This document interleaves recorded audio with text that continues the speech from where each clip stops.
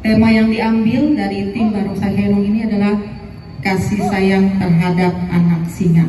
Ya, yang temanya ada alur ceritanya yang sudah dibaca para juri. Ya, para juri silakan membaca alur ceritanya dengan cermat